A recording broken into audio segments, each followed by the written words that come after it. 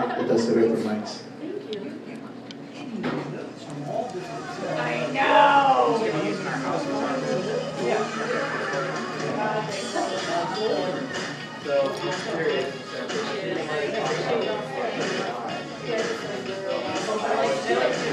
Hey, how's it going, everybody? My name's Charlie.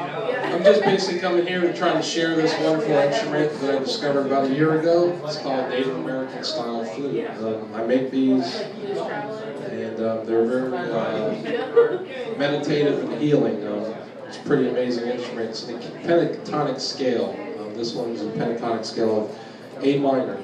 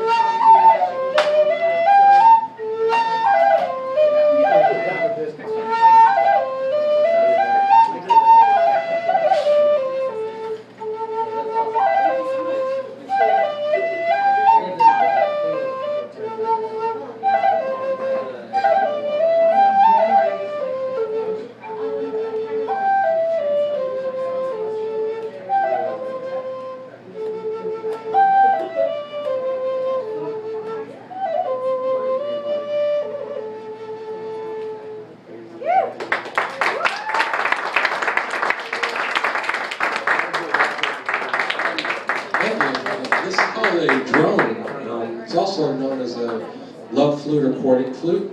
Um, it has two separate barrels. And, um, very beautiful piece of maple. That I rescued from the garbage. Wow.